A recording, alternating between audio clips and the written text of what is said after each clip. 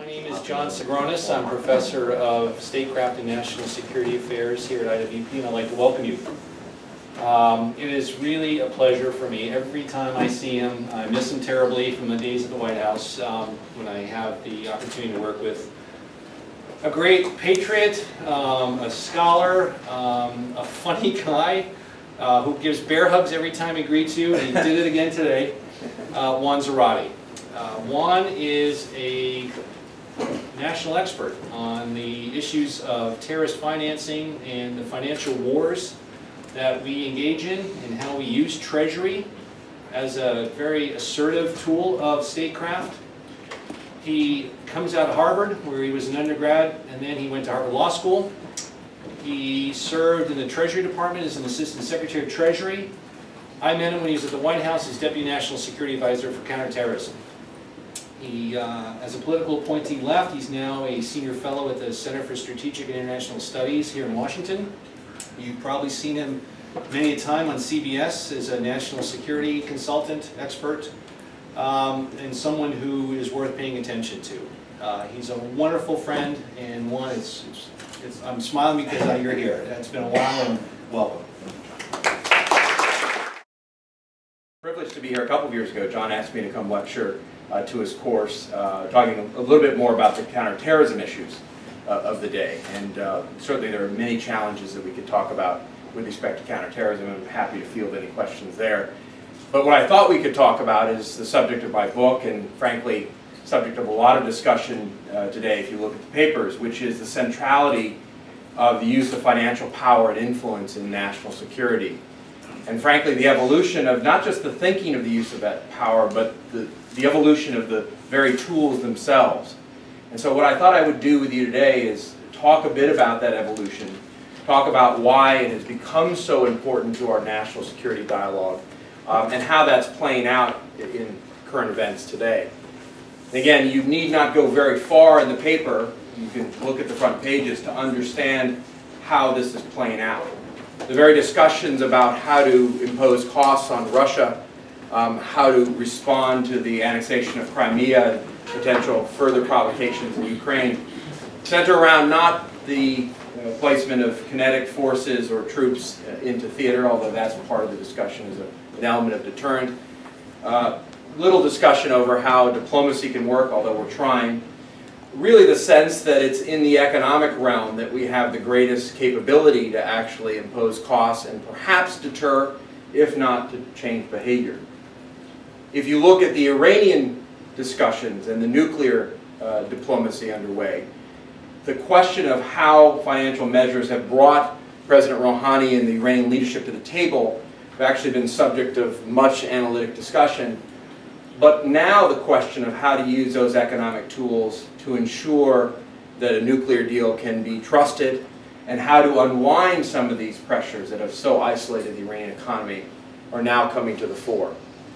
If you look at the question of how you deal with a metastasized al-Qaeda terrorist movement with the black flag of al-Qaeda flying over various regions around the world, the question of how you use these tools of to attack terrorist financing and to undermine al-Qaeda's ability to raise and move money around the world are now prominent.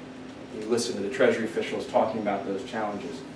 And so you can go from the high order issues of nuclear diplomacy to the very tactical questions of terrorism and organized crime. And a common dimension among them is how you use financial tools and frankly, the evolved tools of the isolation of rogue actors from the financial commercial system to the benefit of American national security. And one need only as well look to how our enemies, or those that have been targeted by these tools, have responded or how they've felt in, in reaction over the past 10 to 12 years. And they've noticed that something is very different. In fact, one of the questions posed to me when I started writing the book and decided to publish it was, aren't you worried that you're going to be revealing too much in terms of American strategy and thinking about these issues? The answer was actually fairly simple, which is those who are most affected by it actually understand better, frankly, than folks in Washington what has been at play and what they've lost and how they've been affected. And so if you li listen to the words of bin Laden himself, contained in the memos found in the Abbottabad raids, uh, you find that he was bemoaning the fact that Al-Qaeda could no longer raise and move money the way that it once did. In fact, he was musing about how to develop new strategies like kidnap for ransom as a core dimension of strategy for Al-Qaeda core to raise money. He'd seen the impact of that for the Taliban and certainly the tens of millions of dollars raised by Al-Qaeda in the Islamic Maghreb. So he began to muse what other options were there.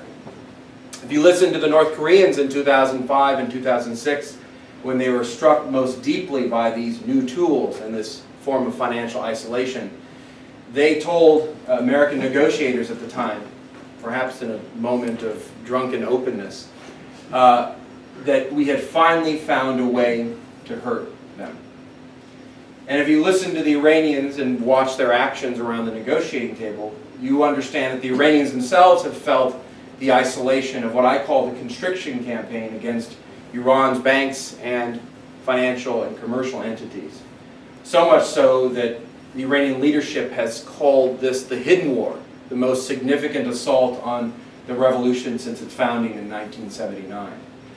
And interestingly, there was just an article by Jay Solomon in the Wall Street Journal the other day uh, pointing out and quoting Iranian leaders as well as merchants uh, offering advice to the Russians not to take lightly the threats of American financial power and economic isolation because they had underestimated the impact that it would have.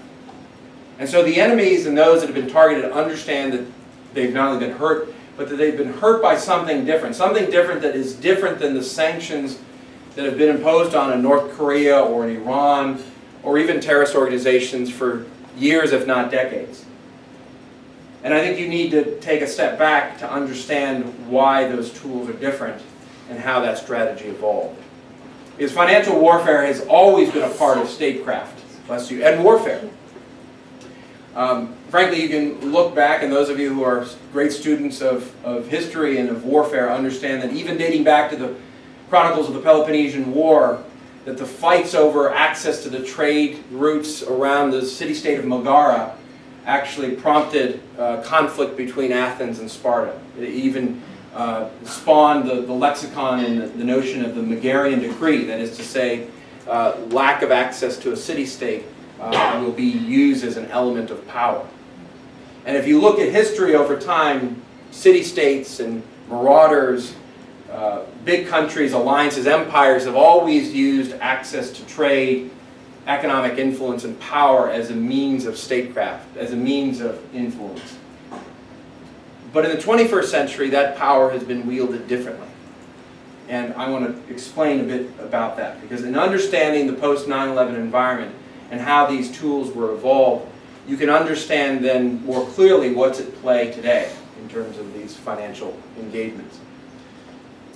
In the first instance, in the post-9-11 environment, you had a realization that there had to be a use of all elements of national power to try to undermine uh, al-Qaeda's abilities to attack the United States and the ability of terrorist networks to interact and to uh, be able to finance the grand imaginings of their leadership. And so in that sort of political uh, push and paradigm, you had the, the very notion of using treasury and financial tools in a much more aggressive way than we had in the past. There was no question that in the 70s, 80s, and 90s, we had used economic sanctions and power in our diplomacy and in our statecraft. Um, but that was a, a, mixed bag of success and not non-success. You had uh, the case of South Africa, where economic isolation and trade sanctions actually affected some change. But you also had the cases of Cuba and even Iraq, where sanctions not only didn't change behavior, but in the case of Iraq, I would argue, actually ensconced and empowered the regime by allowing them to game the system and to profit from the very regime that we had put in place internationally. And so there had been a reflection on the use of these powers over time and an evolution to the thinking of the use of targeted sanctions more aggressively to attack the finances of leaders and networks uh, in a way that would not necessarily damage the civilian population of a country, but would try to attack the finances of key leaders. And so in this post 9-11 environment, this evolution of thinking on targeted sanctions was in many ways put on steroids and amplified.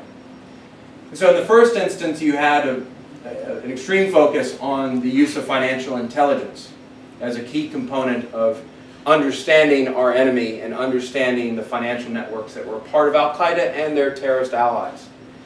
Keep in mind that financial intelligence over time, dating back to the days of looking at organized crime and drug trafficking cartels, was always a part of how the law enforcement intelligence communities thought of looking at threats, but in many ways was often ancillary to the way that they uh, analyzed a problem or devised policy solutions.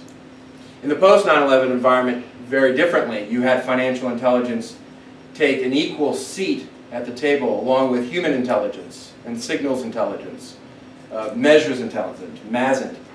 So you had the formation of a very new doctrine known now as FININT, financial intelligence, with the development of organizations within the U.S. government intelligence community, within law enforcement itself, and also within the Treasury Department uh, to create the intelligence capabilities to collect, analyze, and deploy that kind of information.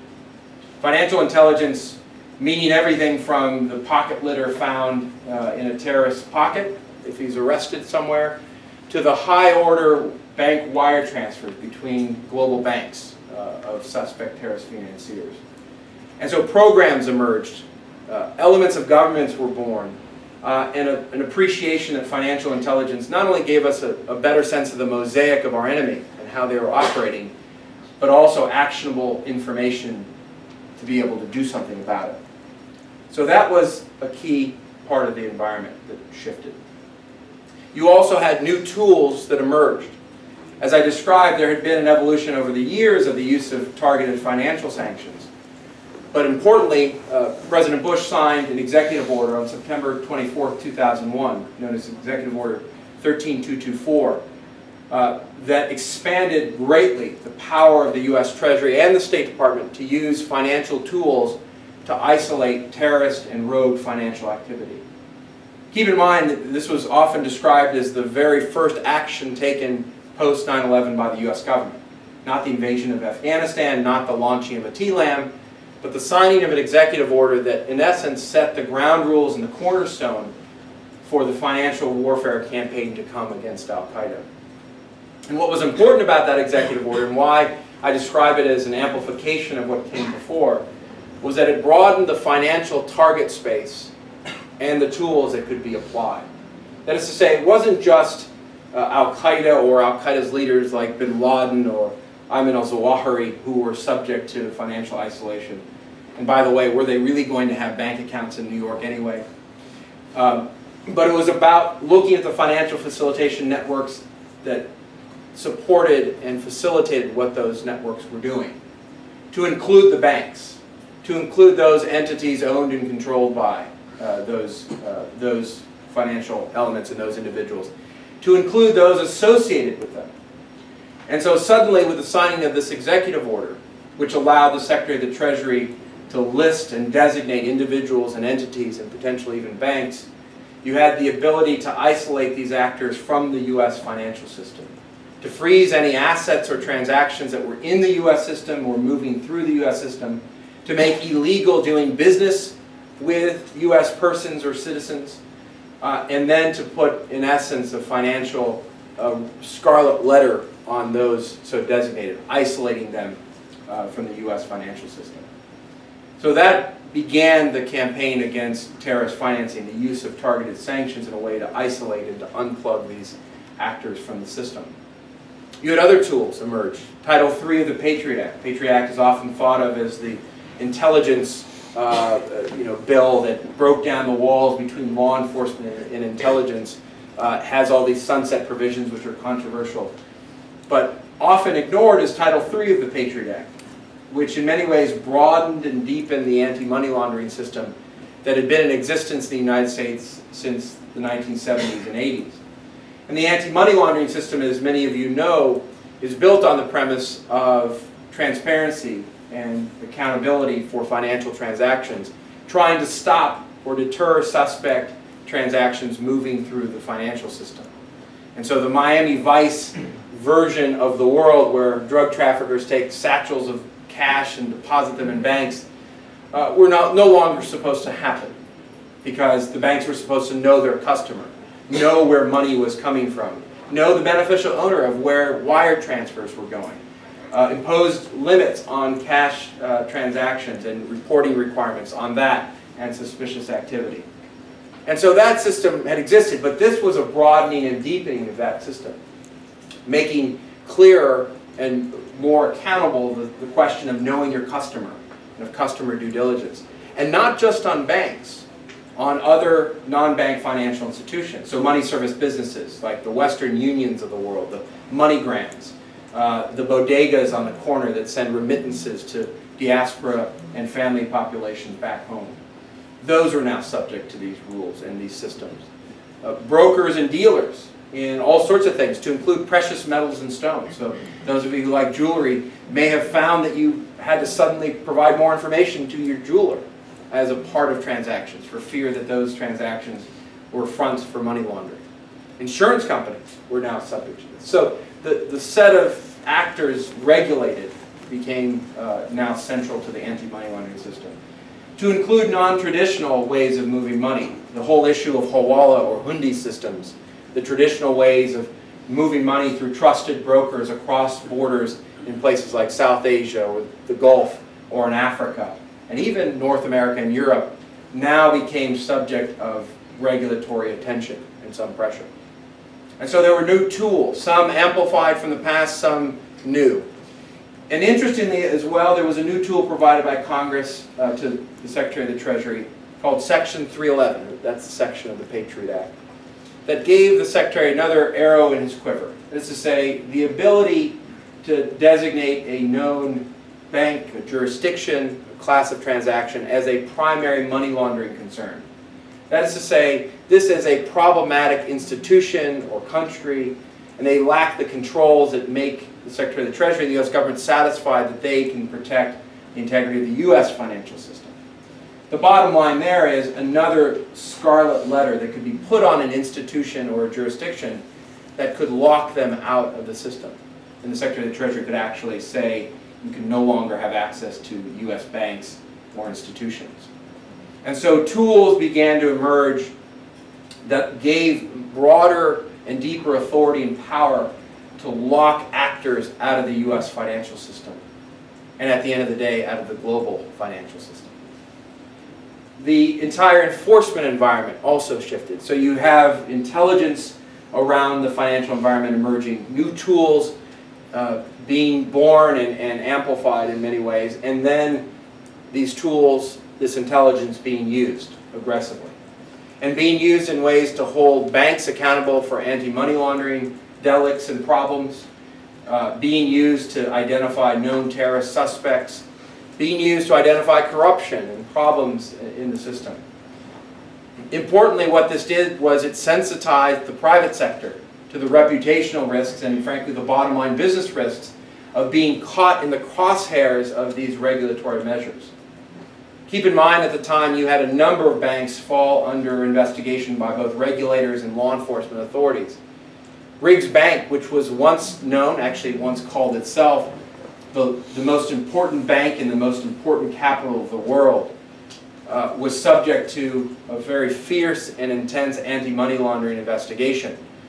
Uh, in fact, they were then fined for anti-money laundering problems, in part because they didn't have proper systems in place to report suspicious activity, in part because they dealt with Pinochet's assets and hadn't reported a lot of that and allowed a lot of things to go sort of under the covers and uh, without much supervision. They also ran all the embassy bank accounts in town, um, which created problems because they didn't ask hard questions of those depositing you know, large amounts of money into the accounts or transferring them elsewhere. And so they came under scrutiny for what they did or didn't do with the, the accounts of Equatorial Guinea, for example, or Saudi Arabia, which had transfers to some of the hijackers in San Diego. And so Riggs Bank came under intense pressure, was fined, and frankly not fined very much for purposes of a bank. In fact, frankly, a rounding error for their purposes, about $25 million.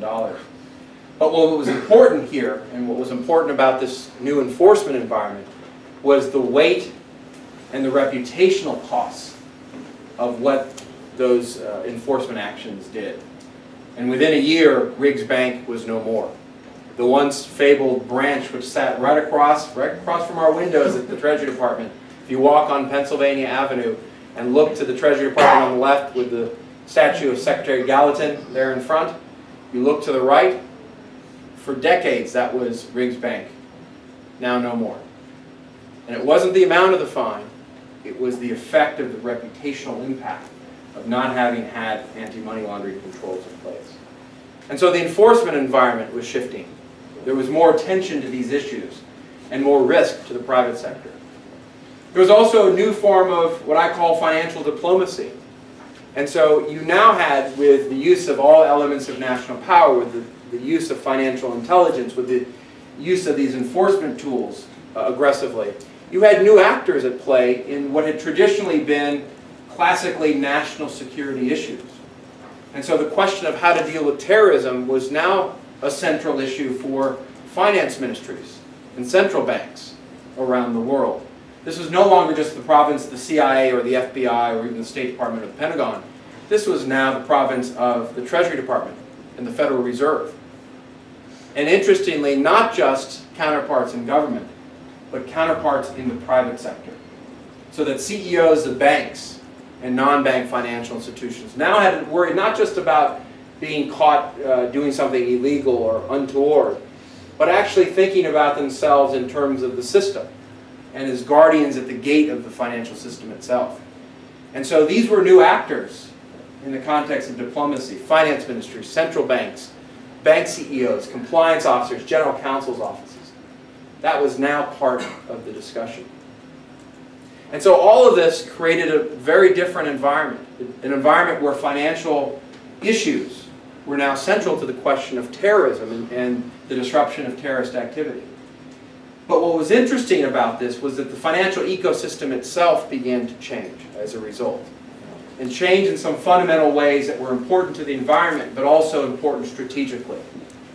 And that's where I want to discuss how the strategy and the thinking actually shifted. Because the trade sanctions of the 70s, 80s, and 90s very much relied on classic, the classic Megarian ability to isolate trading routes and exports and to try to hermetically seal countries from the rest of the world and provide outlets like the Oil for Food program with Iraq and other things. That was an outdated model in this environment because this new environment in the 21st century is one in which we're dealing with a globalized financial and interconnected commercial system. That is to say, financing in the 21st century is no longer uh, simply a matter of being isolated in one country or one uh, region of the world. It's an interconnected environment.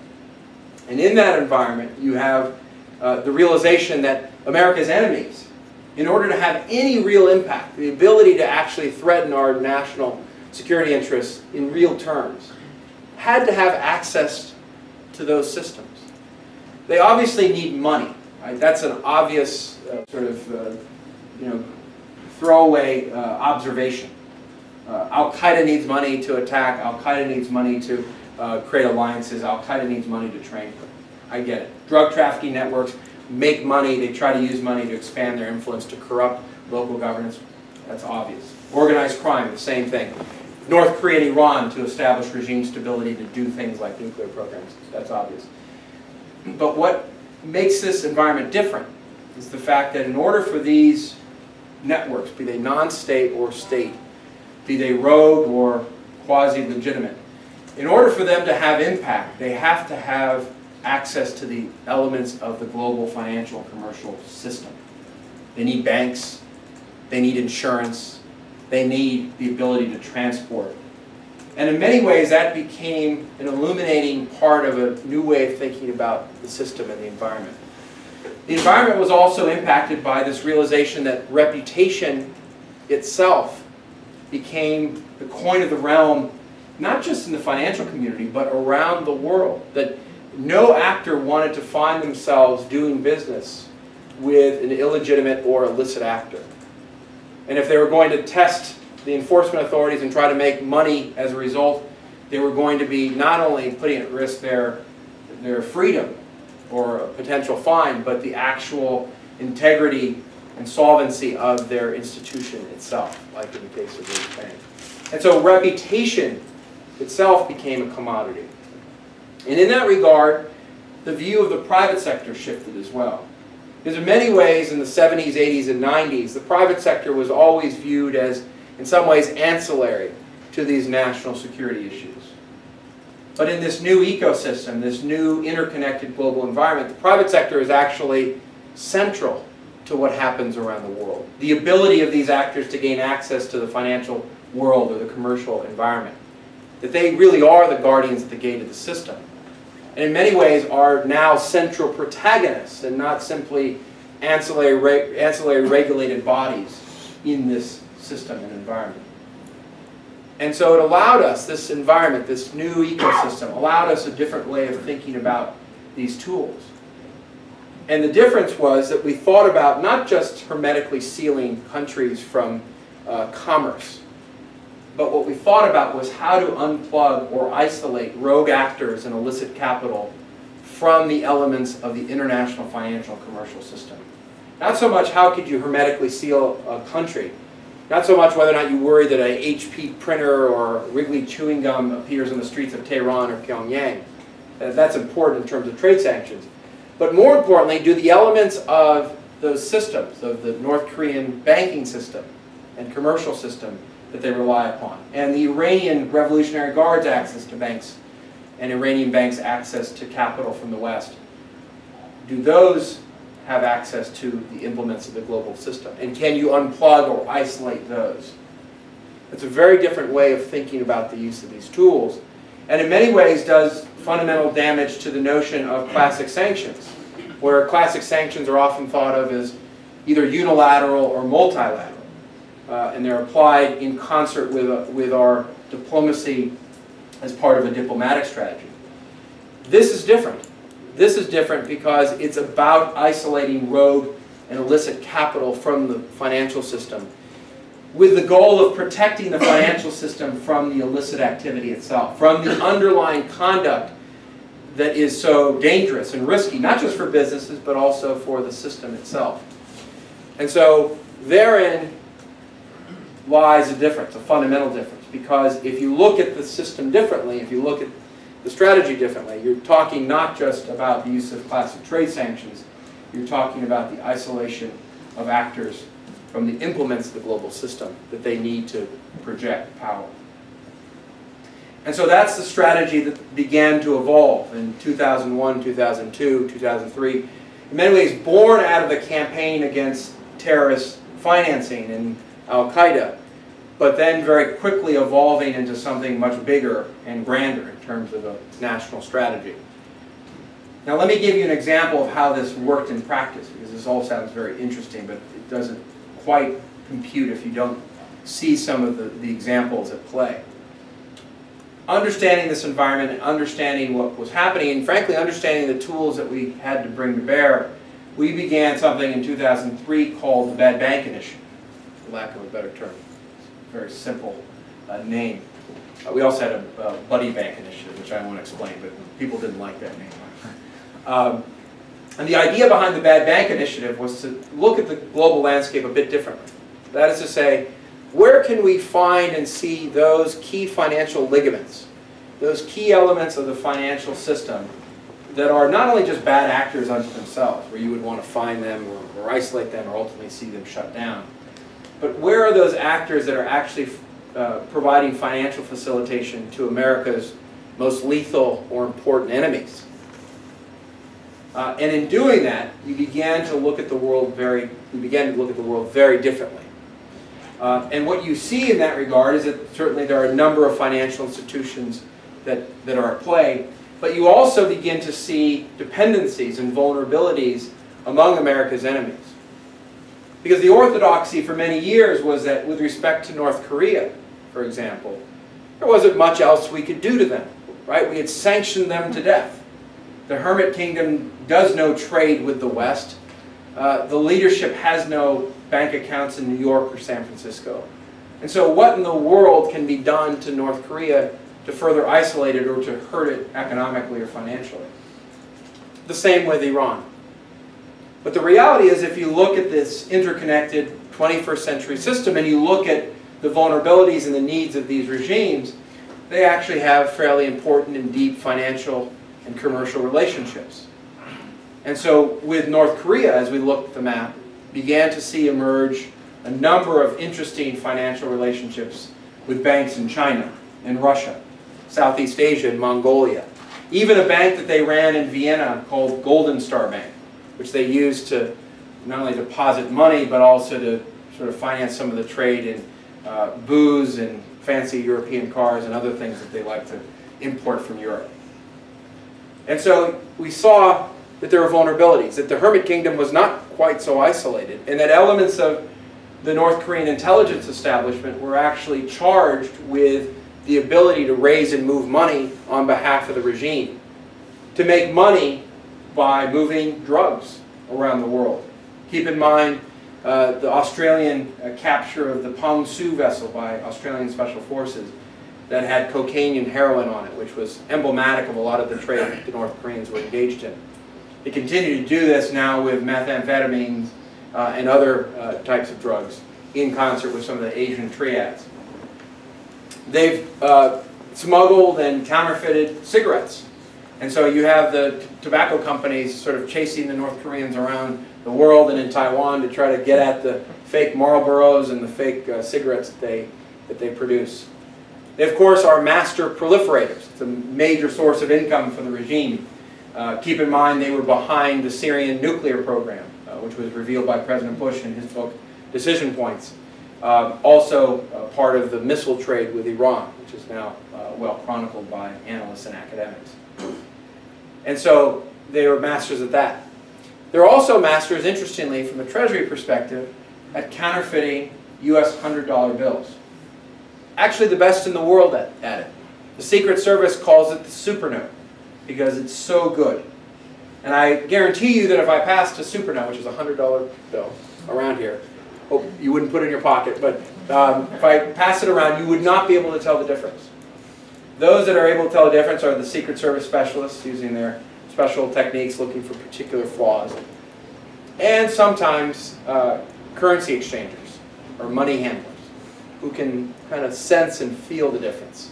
Actually, the very first supernote was found by a money exchanger in Manila who could feel the difference in the notes. And so the supernote has emerged in not just Manila, but in Taiwan, Yemen, Peru, even Las Vegas. And so this is a criminal state that not only needs access to bank accounts, that not only tries to engage in commercial activity, but frankly is a criminal state, often called by experts a mafia state. They act like it, especially with their relatives. Uh, and sometimes called jokingly the Soprano state, because they actually like the Sopranos. They have the DVD sets. Um, and so what was interesting about that was not just the revelation of all this, I think many people knew this, but the revelation of the vulnerabilities. Because the underlying conduct was illicit, outright. And it didn't matter what your view of the North Korean nuclear program was, or six-party negotiations or diplomacy. The underlying facts were still there. The North Koreans were engaged in illicit conduct. And frankly, a lot of money laundering to the tune, tune of hundreds of millions of dollars.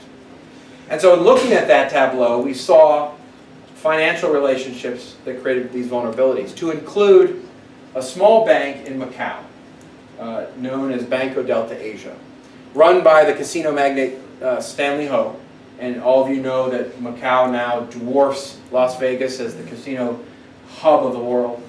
Um, and so this was a bank that was in essence serving as an all-purpose provider for the North Koreans. They were doing everything from accepting counterfeit and depositing it to allowing Office 39 to have accounts to wire money and transfers for proliferation deals. They were doing it all. And so kind of a prototypic bad bank. Bad bank because they weren't doing what they should as a bank unto itself, but also because they were providing North Korea access to the facilities that they needed. So for us, a prime target in this bad bank initiative. So for two years, we developed the evidence, the information around this, prepared a Section 311 action to label this bank as a primary money laundering concern, to lock it out of the U.S. financial system. And after two years of interagency negotiation, those of you who study or have been a part of the interagency process know how torturous this can become. Um, after concerns about uh, the intelligence equities at play, whether or not we would reveal too much about what we knew about North Korean finances, were allayed. After some of the law enforcement actions uh, came to fruition, uh, to include uh, two very interesting cases run by the Secret Service and the FBI around the counterfeiting rings that the North Koreans were involved in. One on the West Coast, another one on the East Coast called Royal Charm, the other one called Smoking Dragon. After the takedown, believe it or not, at a New Jersey wedding in mafia style of some of these actors. And after the diplomats were comfortable with where we stood in the six party talks, at that point led by Chris Hill, decision was made to launch the 311 action. Now, this was important because this was, in some ways, a test case for the use of 311 in a high-order diplomatic engagement. 311 had been used before against certain jurisdictions, against certain banks, with relatively lethal effect. Many of the banks that were so designated died a quick death um, or were taken over by local authorities or were uh, completely sort of defanged of their ability to do business internationally. Um, but what we had here was the injection of these powers right into the heart of the nuclear negotiations uh, with North Korea. And the impact was dramatic. Now the impact on the bank was fairly predictable. Uh, there was a run on the bank by the depositors the moment the regulation went out. Uh, there was a freezing of all of the North Korean accounts in the bank. Uh, again, not much, about $25 million, that number again. Um, uh, the Macanese Monetary Authority took over management of the bank itself. Uh, banks doing business with Banco Delta Asia began to cut off those relationships. So all fairly predictable. That was an isolated pariah from the financial system. But what was more important was what happened beyond Macau and beyond Banco Delta Asia. Because what we had done in addition to, in, in many ways, indicting the bank for its illicit activity, was we were exposing and indicting the North Korean illicit activity that was underlying that action. And the world and the financial community in particular had to take notice. And so in jurisdiction after jurisdiction and bank after bank, what the North Koreans found was that their accounts were being frozen, that they were being locked out of the institutions that they once traveled easily in and out of. Their operatives were now being asked uncomfortable questions. And slowly but surely, like ripples on a, uh, in a pond that were sort of hit by, a, uh, by an obstruction, suddenly uh, North Korea was isolated, in particular in Asia, but around the world. And initially the North Koreans poo-pooed the action. And you see this over and over again with uh, countries or institutions that were hit with these kinds of measures. But they understood something was different. And it took them about three weeks to understand something was different. And they called the White House and the State Department for the first time in modern memory, at least, uh, to say we have to talk and we have a problem. And for about two years thereafter, they began and ended every conversation, especially around the six-party talks, with we want our money back. And the price of reentry to the six-party talks was a resolution of the financial pressure and isolation. Now, it wasn't the money that they really wanted, although they made the $25 million sort of the, the issue to negotiate at the table. What they really wanted was their access back. They wanted all of this unwound. As I say in the book, they wanted the genie put back in the bottle, but it had been let out. This caused huge complications for our diplomats. And if you talk to Chris Hill, he'll say, look, part of the problem with these new tools and the way that this played out in Banco Delta Asia was there was no neat or easy way to unwind them, the way that we would, for example, classic trade sanctions by uh, the lifting of a, of, a, of a law or a regulation or even a UN sanction. Keep in mind this was much more in line with an organic market-based isolation of rogue actors and activity. The 311 itself was simply a proposed domestic regulatory rule that applied to U.S. banks only. There was no UN action attached to it. There was no bilateral agreement with the Chinese. There was no multilateral, classically or otherwise, dimension to this. But what you had was global effect because of the way the financial system works, the primacy of the U.S. economy and financial system, and the credibility, frankly, of the U.S. Treasury and what it says and does. And so what you had was global impact on a target of U.S. interest. Even the Chinese, by the way, didn't want to touch uh, the taint of North Korean capital. This caused great division, actually, and interestingly to watch division within Beijing, where the political and military leadership wanted to support and back the North Koreans. But the finance ministry and central bank and the Bank of China itself wanted nothing to do with the taint of that capital. So much so that we had to put ourselves in pretzel-like formation to get the money back to North Korea as part of the resolution. The, the, the Chinese didn't want to touch it. So what we had to do was uh, put the U.S. at the center of the return of the money. So the Macanese authorities took uh, ownership and expropriated the, the accounts, then transferred the accounts to the New York Fed. The New York Fed then transferred it to the Russian central bank. The Russian central bank then transferred it to the Far Eastern Bank, which still had some correspondent relations with, I believe, Tanchon Bank in North Korea, and transferred the money in. By the way, President Putin talked to President Bush to make sure that the Russian dimension of this, the entities, would not be targeted as a result. And so we had to unwind this, and frankly, the U.S. had to be centrally a part of it. What's interesting about that is not just the demonstration in North Korea of the power, but also the demonstration in Washington. For me, it was very interesting because I'd been at the Treasury for about four years working on these issues and had just arrived at the White House as the DNSA for counterterrorism. So I got to watch from a White House vantage point how the national security establishment understood and viewed the use of these powers. And in many ways, we in Washington were shocked at the impact. And in fact, if you talk to most of the experts at the time, including North Korea experts, and including those uh, expert in financial intelligence or uh, illicit capital, they'll say, we did not expect the strategic impact of what happened. General Hayden, former NSA and CIA director, called this a 21st century precision-guided financial missile, uh, given its impact. And so there was an awakening, awakening within the national security complex itself here in Washington that there was something different at play. That these were not the classic trade sanctions of old, that we actually had found a way of hurting uh, North Korea and gaining attention and leverage in that regard. Now there's much debate, and I get into this in the book, about whether or not the timing of the action was right, whether or not the way that it was deployed um, actually interfered with the diplomacy. Um, all that, those are important questions, but there was no doubt that we gained leverage uh, in the discussions with North Korea.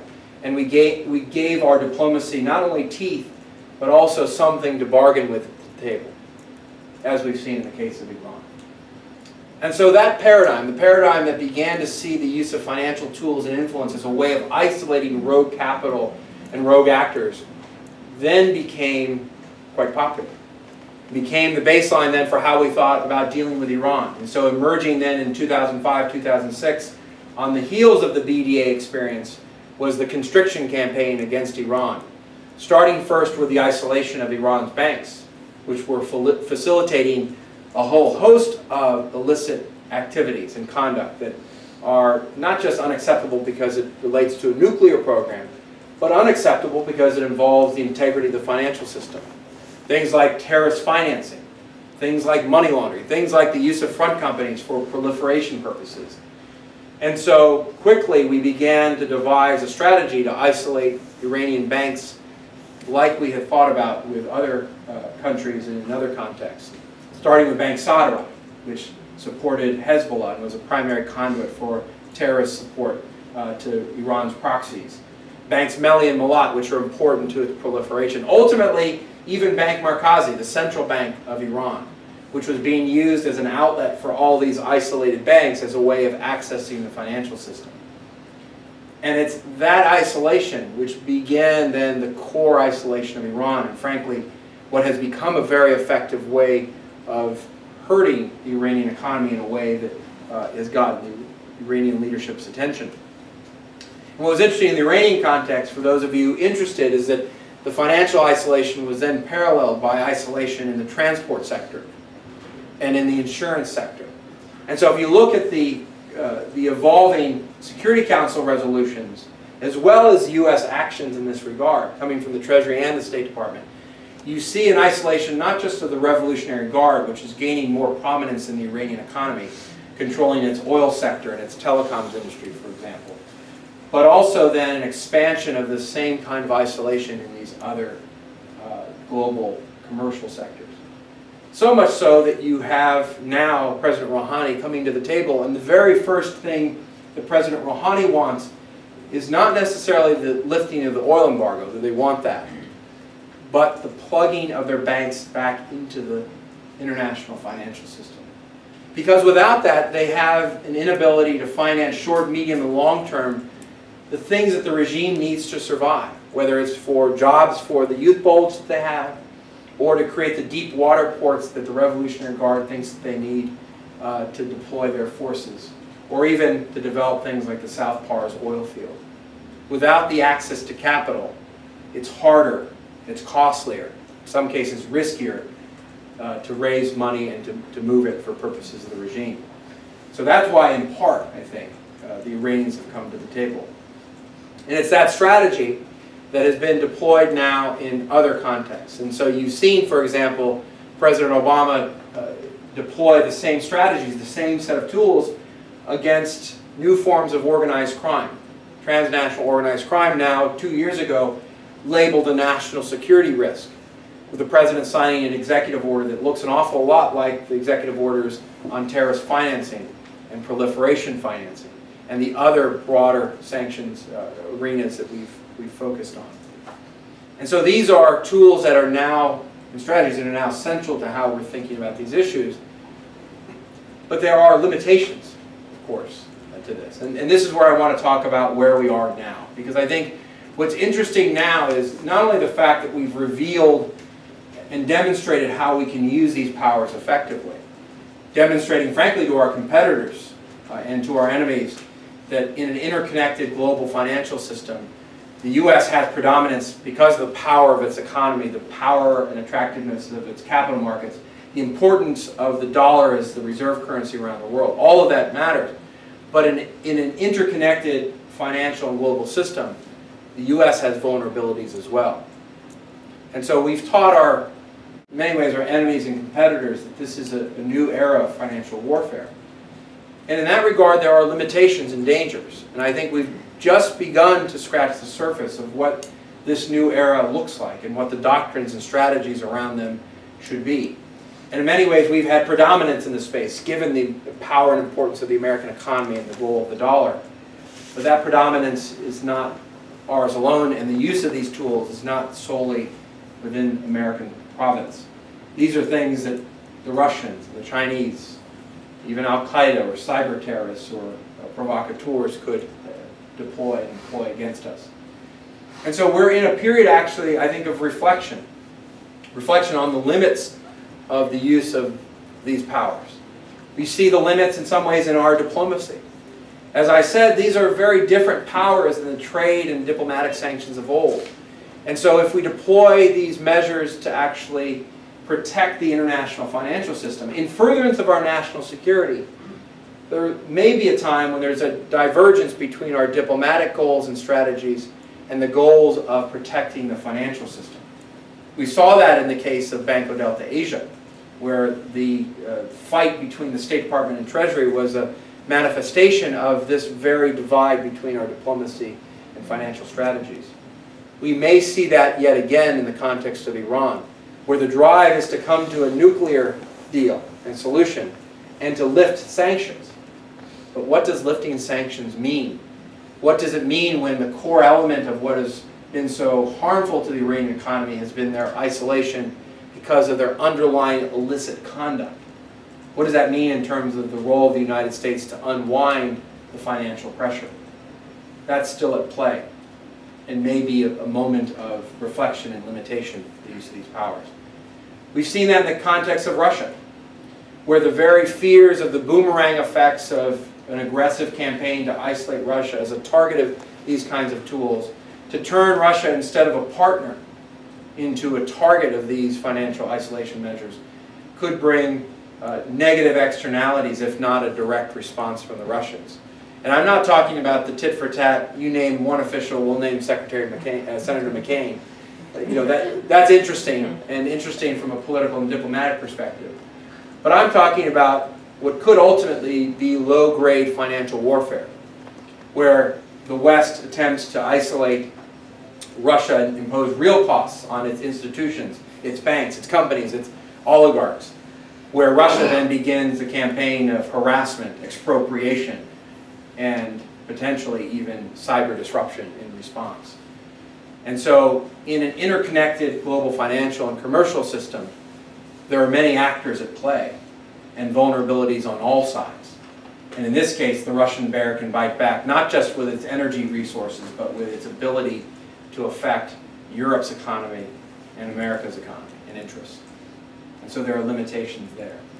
There are limitations in the context of terrorism, where you have a metastasized al-Qaeda movement, which is no longer simply driven by a core hierarchy of al-Qaeda members from the 1990s and early 2000s, but a group that's metastasized into local insurgencies and local groups, groups like Al-Qaeda in the Islamic Maghreb that use smuggling and kidnap for ransom to raise millions of dollars, Boko Haram, which pretends to fly the flag of Al-Qaeda uh, for its local uh, strategies and atrocities.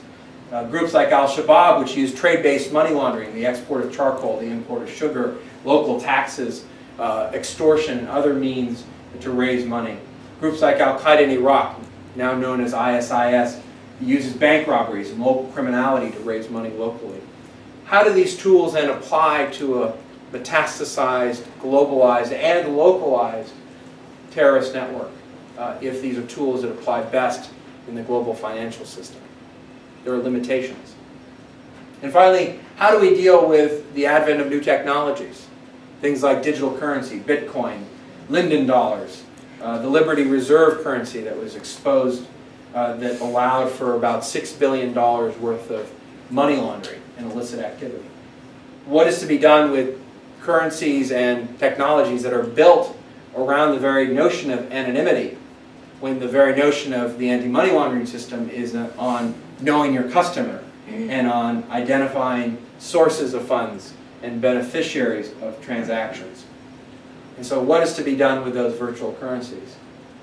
And finally, in a multipolar world of challenges to American power, what does the challenge to American economic predominance and power look like? What is, what is the challenge to the globalized American economic system uh, become? What do challenges from the BRICS, for example, to the role of the, the dollar as the chief reserve currency? What does that look like in the context of this new environment? And so there are challenges to America's power in this environment. And so there are limits to how far the United States can go, uh, but also opportunities to continue to develop strategies and implement them effectively in this regard. And I've, for perhaps in the Q&A uh, session, I'm happy to answer this, but I, I've argued that there are ways of using these tools aggressively in the context of Russia without necessarily exposing ourselves to some of the vulnerabilities and some of the boomerang effects uh, that may be at play. But at the end of the day, we have entered, I think, a new era of financial warfare. One that was born out of the tools and strategies and political impetus to go after terrorist financing and Al-Qaeda, but that spawned a new paradigm of power, the use of financial power that's now central to our discourse in the national security context. One that is a power unto itself, but also a complement to other powers. Financial intelligence is a part of intelligence work. Intelligence and financial investigations is part of enforcement efforts around the world. Elements that give teeth to our diplomacy, and even in the military context, a new doctrine known as threat finance, which is the ability to understand where our enemies are getting resources to be able to shoot at our men and women in uniform. So these are tools and strategies that not only are power unto themselves, but a complement to other power. Interestingly, and I'll end with this, is the evolution of Treasury itself uh, in this regard. And I share this with you because this is an audience that obviously understands Washington and perhaps likes uh, bureaucracy. or at least the study of it. Uh, some Weberians, I hope, in the audience. Um, but what was interesting to me was the evolution of not just these powers and strategies, but the evolution of Treasury itself. And so the reason I wrote the book Treasury's War was because I wanted to tell the story of the evolution of these strategies. But I also wanted to tell the evolution of the institution itself at Treasury. Because when I was at Treasury, especially in the 2002-2003 period, I would go to the White House on behalf of the Treasury in the national security context. And people would raise their hand and literally ask, why is Treasury here? Treasury does not belong here anymore. Because the Treasury Department had lost the bulk of its guns and badges, the fabled agencies that had been part of the Treasury since the founding of the Republic, the Customs Service, the Secret Service, created by Abraham Lincoln to go after the Civil War counterfeit rings, uh, the ATF, uh, the Federal Law Enforcement Training Center. And so the, the elements of the Treasury Department that gave its stature and weight and funding were no longer there. They were gone to Homeland Security or to the Department of Justice. So the question was, what is Treasury? Why is it here? Does it have anything to contribute? And I think we answered that question quite clearly and resoundingly. We have unique tools and information and authority that actually have nothing to do with guns and badges, but have to do with the 21st century environment where we can reach far beyond our borders using our economic power and might. And so what was very satisfying for me, and I think for John as well, at the end of our tenure at the White House in 2009, the question was the exact opposite.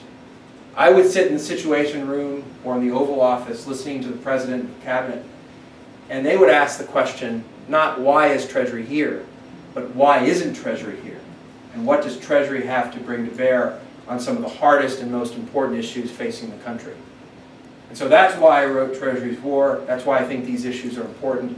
And for all of you who are involved in scholarship in some way on national security, I would commend to you the very issues at play in the book because I think we are just at the start, not just of the use of these tools in our national security, but in many ways in the scholarship of how we think about these tools and this power in an interconnected and global world.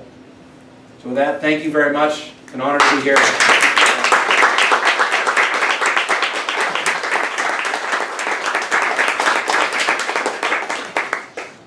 Three questions? Yes, sir. If you could indulge me for just a moment to bring up a moment of historical perspective in a monetary context. By the way, I'm a retired customs agent, and I say you mentioned Richard Newcomb, former OFAC director in your book, and had the privilege of bringing him to Miami for a Cuban uh, embargo prosecution many years ago. But uh, you mentioned bad banks, and uh, from a former customs agent perspective, I'm troubled by Eric Holder saying that there are some financial institutions that are just too big to prosecute nowadays. Um, historically speaking, uh, founder Roger Sherman, um, who's primarily responsible for the monetary provisions of the Constitution, uh, was troubled by each colony having its own paper system of credit, and Rhode Island inflated theirs much more than anyone else, and he realized as a businessman if he dealt in Rhode Island currency, his wealth was actually being stolen unless he reinvested it successfully very quickly. And in a sense, it seems like now that we have a purely a system of credit rather than actual money, um, aren't we almost Rhode Island to the rest of the world? Uh, in terms of, uh, we have an irredeemable IOU, or actually redeemable only in uh, OPEC oil, to the extent we enforce that militarily and maintain the illusion that oil is inherently limited, when you know, many Russian and Ukrainian scientists would argue that oil is not a fossil fuel, it's abiotic. It's, it's actually probably tragic to try to base a system of credit on something that isn't fundamentally limited as gold or silver. Uh, Andrew Jackson shut down the second bank of the U.S. because he argued that we were meant to have a circulating money of gold and silver coin to protect the wealth of the laboring class from being inflated away. And what are the consequences of, to us having gone so far down that path of inflation? I just, very briefly, the Kennedy half dollar, the 1964 half dollar, 90% silver, is worth $8 in current money. The, the ones that have been coined ever since we arguably became the rogue nation of the world by abandoning the Bretton Woods Agreement, it now has 8 cents in current money of copper in, uh, clad with nickel. So the wealth of the laboring class has been inflated away, and might we not move towards a new Bretton Woods agreement and restore, isn't Treasury's real function to maintain an honest unit of account rather than to be uh, the instrument of a weaponized system of credit? You, you raised a ton of issues. First, First, first comment, I'm not an oil and gas technical expert, so I can't speak to, to, um, to some of that. But um, let me try to address a couple things. First of all, in reference to customs and, and to bad banks, um, customs had some of the greatest uh, anti-money laundering investigators and investigations historically in, in U.S. history. Uh, BCCI was largely driven and, and uh, shut down as a result of uh, customs service uh, and some of the most significant anti-money laundering investigations in, in the U.S. and places like Mexico have been customs uh, related. That's in part why there was such angst when customs left the Treasury Department. Who, who's going to worry about the integrity of the financial system that has guns and badges? Now Treasury still has the IRS criminal investigators, which by the way we leveraged to go after Saddam Hussein's assets. So if you read in the book, you'll see we had IRS jump teams going to places like Syria, and Jordan, and Lebanon. Um, you may ask, what, what are IRS agents doing? Um, they were trying to retrieve money that, so that we didn't have to expend that money in Iraq, but also uh, it's the resources Treasury had to bring to bear. But in any event, that's one thing I wanted to mention because customs has been uh, very important in this regard. And I think a key question moving forward with customs and homeland security is what, what becomes of that ability to police the system, uh, which touches a bit on your point of, about what Eric Holder has mentioned. And I think we are in a bit of a conundrum because there are um, questions about systemic risk um, if certain banks, uh, as we saw during the financial crisis, were to collapse. And I think the same question arises, and you've seen it uh, arise openly with the Attorney General's remarks and, and others from the Department of Justice as to whether or not you criminally prosecute a bank and frankly uh, don't allow it access to the U.S. financial system. Do you fundamentally do damage not only to that bank, but to the banking system itself? Um, and frankly, to the ability of the U.S. to serve as uh, a chief repository of, of international capital. Hank Paulson would call this the magnificent glass house. And so there, there are constant questions, and this goes to your final sort of comment and question. Are real questions as to how the Treasury Department, how the U.S. government actually tends to the financial system itself. Because the Bretton Woods Order was, in essence, a compact internationally where the U.S., along with other institutions like the IMF and World Bank, would not only help establish the norms and, and, and uh, principles around the international monetary system, but that there would be a shepherding of that system, a, a guardianship, if you will, a trusteeship uh, over it, which the Treasury Department, I think, has taken very seriously over time. But I do think there was a question post-2008 as to whether or not uh, we've entered a period of systemic risk uh, that has um, that has forced us to rethink not just the, the, existing systems, but the role of major banks in that system and how we can then impact them or, or otherwise not. Um, and I think that goes for uh, the economic uh, and, and, AML realm as well. Final point I would make um, is that one of the limitations that I didn't mention, sort of my summation at the end, is whether or not we've reached a limit of what we ask of the private sector in this regard. Uh, because if you, if you ask the private sector, they'll say, look, we've been asked to become the frontline uh, policemen for the system in many ways in this new order. Uh, banks are establishing financial intelligence units internally to not only be able to understand their customers, but to be able to predict risk coming down the road. And in many ways, the regulatory environment has become intolerant to even uh, the slightest sort of um, uh, sanctions violation or anti-money laundering delict. So there's a question as to whether or not we've used these powers too much and we've gone too far, frankly. So much so that you start to make the United States an unattractive place to do business. You, you begin to push legitimate actors out of legitimate banking activities. For example, banking money service businesses for Somali uh, diaspora communities. Uh, there's a case in the UK now uh, where the courts have stepped in not allowing Barclays Bank to uh, exit that particular type of business because there is no other bank that is willing to bank with that sector because of the risk. And so it's a different dimension of your question, but it's an important one because the question is how far can you take the use of these powers which rely on the private sector, but that also puts the private sector squarely in the crosshairs for that enforcement environment. And so I, I think you've asked a very intelligent and important question. I just don't, I'm not sure we have an answer yet from a policy perspective as to how you balance the score in terms of understanding that we have to preserve our ability to be that capital haven while also preserving the integrity of the system and using our tools to do that. If I could just make one brief follow-up question.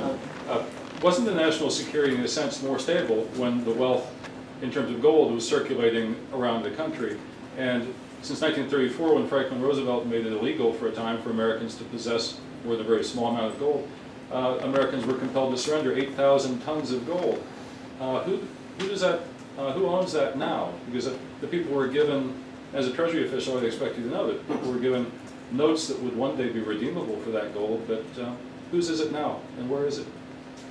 Well, there- there's gold in uh, repositories in the US government, right? The US Treasury uh, holds some of it. Um, Some of it's housed at the Fed, there's plenty of that. Also housing gold on behalf of other governments.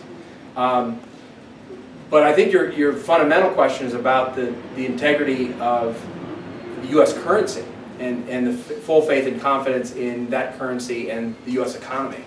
And, and that, I think, relates not just to who holds gold or, or what backs the currency, that's critical, but also faith and confidence in the political system. Uh, question as to how much debt the country can, can uh, legitimately hold, and ultimately what the role of the American capital markets are to sustaining what is debt-driven uh, government spending. So I think it's a whole host of those issues that are fundamental to where are we going in a post-2008 context, uh, in addition to all of the challenges to, to those sort of central dimensions of our power, whether it's the renminbi being used more often in trade relations or virtual currencies emerging as a way of bartering and, and uh, exchanging uh, value. So I, I think you raised very good points, but I think it- it's part of a broader question, set of questions as to are we preserving the very sort of fundamentals of American uh, economic strength and power and the faith and confidence in the system that not only backs the currency, but back, backs the very financial system that's so important uh, to the U.S. Uh, in the back there, sir. Thank you uh, for your comments, very, very insightful and good as well. Um, Just by way of background, I appreciate the comments that you made just a moment ago about the idea that we might be potentially overusing some of these methods and putting extra onus on our private sector. Um, I work uh, basically helping banks build the teams you mentioned, financial intelligence units, and I've seen that firsthand. One of the things that I've also seen is that when sanctions are levied against banks, oftentimes they come back and they, or penalties rather, they come back and they do the exact same actions, because like you mentioned earlier, twenty-five million dollars to a bank, for example, Riggs Bank, isn't really all that much, it's just a, you know, a figure on the balance sheet that doesn't really mean much at all. Reputationally, you can, there can be a risk, when you talk about banks like HSBC, that continually are infracting and, you know, creating problems against the system. Is it worth the idea of actually considering penalizing and maybe even removing people from employment for actions of the bank? So taking out major executives of banks, major uh, heads of divisions that are responsible for these problems. I know it's discussed, but do you think it's going to actually happen in the near future? It's a great question because it, it goes back to the question, how, how do you hold institutions accountable? And let, let me, in full disclosure, say, and this is on my bio, I, I'm an advisor now to HSBC after their money laundering problems. So I was brought in to help fix problems. Um, and I sit on a committee of their board, so full disclosure. Um, but I, I think you're right. I think there is a fundamental question of not only how do we hold institutions accountable, but, but actually individuals. That's a very delicate balance because I think uh, the last thing you want to do is create a system where compliance officers, for example, some of the folks you work with, um, are worried that each and every step they take is going to be second guessed and deemed to be criminal, when in fact the, the very essence of the anti-money laundering system is to be, to be based on a risk-based system. It's not to eliminate all risk. It's not to suggest that you're not you're you're going to be able to hermetically seal the system from any illicit dollar or yen or pound that goes through the system. It's that you're going to have an ability to assess the risk and you're taking appropriate measures to deal with it, whether it's high risk or medium risk or low risk. And that was part of the problem with Riggs, right? There was an inability of, of any system at all to deal with any of the risks attendant to the business they were doing. So I think I, I, I do think, especially in the post-2008 uh, uh, context, there has to be accountability for, for what's done. Uh, And I've been, I've been actually shocked that there hasn't been more sort of individual prosecutions in light of the 2008 crisis. In the AML context, I think we- it's a, it's a more delicate balance because you do have to hold institutions to account. And I think what holds them most to account is the threat and the sort of Damocles over the head that they can no longer do business in the United States. I mean, that's really, that was what was at play in the 311 context that I was describing. More often than not, the threat of 311 itself prompted action because any institution that wants to do business globally, that wants to be viewed as legitimate, has to have access to the US financial system. And so putting that at risk is really what uh, moves mountains, I think, in terms of uh, cultural shifts, um, shifts of, of resources. It's not going to be the number of digits behind the, the decimal point. It's going to be the reputational impact and the real risk of losing access to the US financial system. Uh, and I do think there has to be some degree of individual uh, accountability, but I, I think there's a delicate balance there. Yes, sir. I know, uh, glancing through your book here, you mentioned that the US. the Oh, and I hope you read the whole thing. I did, but I only had There's, five there's, minutes. there's pictures in the middle, so that gives you a quick summary. of it. I only had five minutes to glance through the, the, the coming challenges that you forecast, noticing the, the the systemic challenges to the dollar, baskets of currencies, IMF special drawing rights. Um, my, my question is, is there really any system or conglomerate that is viable enough to replace the dollar in today's world, or even in the next ten years? Not singly. I think, I think that's right, and I think it's been uh, sort of demonstrated last couple of years that that the dollar still retains not only its strength, but its attractiveness uh, as a, again, not just a trading reserve currency, but as a, a currency of last resort in order to, to hold value. I mean, most of the, most of the US currency uh, is actually held outside of the, of the US. Uh, And in fact, whenever the US Treasury puts out a new note, like the new $100 bills they're putting out with all the security features, they usually have to devise uh, an advertisement campaign in foreign countries like Russia, where US cash is held as uh, basically a security uh, to, to, uh, to secure value. And so uh, you're right that the dollar is still predominant. The dollar still projects faith and confidence. I think, frankly, it's been helped by the crises around the world. Um, it's been helped in the context of the euro. You, you all know the, the challenges there in the context of, of, of the common uh, euro currency. It's also been helped by the fact that China has certain institutional, uh, you know, problems uh, that, if not fixed, won't allow the renminbi to truly become a global currency. It is now in the context of particular trading relationships, and it's beginning to be traded more and more.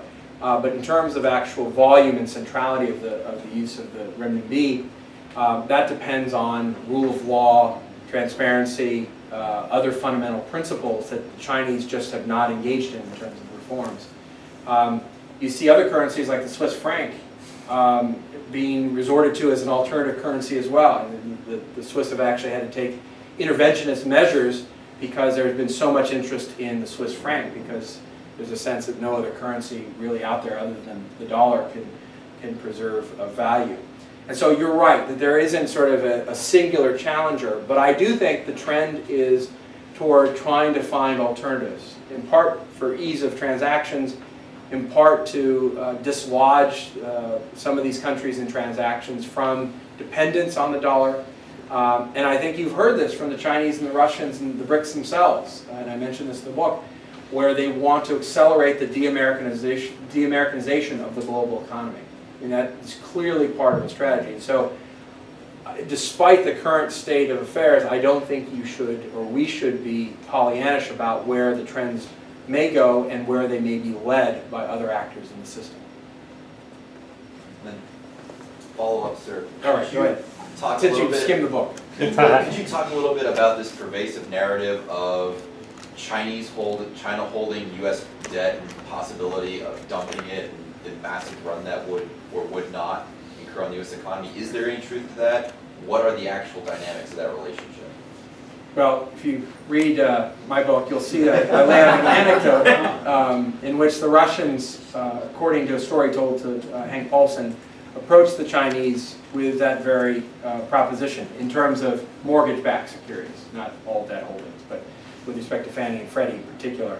And the idea was to dump in mass at the same time uh, uh, Chinese and Russian holdings as a way of, at the height of the financial crisis, the summer of 08, uh, to really undercut the faith and confidence in the U.S. system and the capital markets.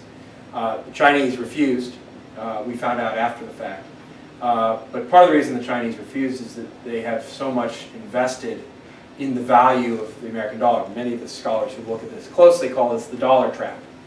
Right? And there's actually a, a very important question as to whether or not deep, deeper economic entanglement on both sides actually provides uh, a necessary shield and deterrent to the use of the most aggressive forms of economic warfare, where you can imagine countries wanting to undermine faith and confidence in each other's systems as a way of furthering financial warfare, uh, but not being willing to do that because they are interconnected in the system. In the case of China, dependent on American markets to not only buy their goods, but also to maintain the value of their investments.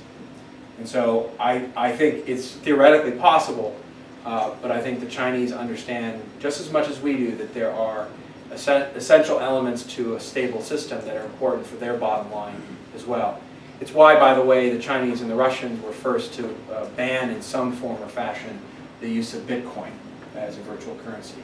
They understand the risks to their own currencies and their own systems as a result of some of these new developments. Thank you.